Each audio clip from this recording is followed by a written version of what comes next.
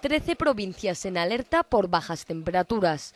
La comunidad de Castilla y León ha sufrido hoy una bajada de temperaturas de hasta 10 grados. Para combatir el frío, los castellano-leoneses coinciden en que lo mejor es dar largos paseos, abrigarse lo más posible y, si se puede, permanecer en casa. Pues pasear. Vengo de allá arriba, de San Luis. Ahora, que si pasas por ahí por el puente te tienes que agarrar. ¿Qué hago? Pues nada, andar, por ejemplo.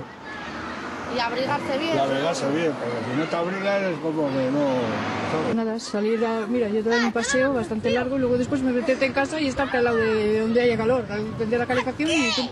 Se esperan heladas generalizadas y nieve a partir de 100 metros. Muchos creían que el invierno ya había pasado. Mucho, mucho cambio. Hemos tenido un tiempo impropio de tal y ahora de repente que creíamos que se había pasado el, el invierno y el invierno está aquí todavía. Mucho, mucho se ha notado. Ya creíamos que el invierno se había acabado, pero no. Tres provincias de Castilla y León se encuentran este viernes en alerta amarilla y naranja por temperaturas mínimas y seis por vientos fuertes. Para mañana sigue el temporal ya que los valores mínimos podrán llegar a alcanzar los 9 grados bajo cero.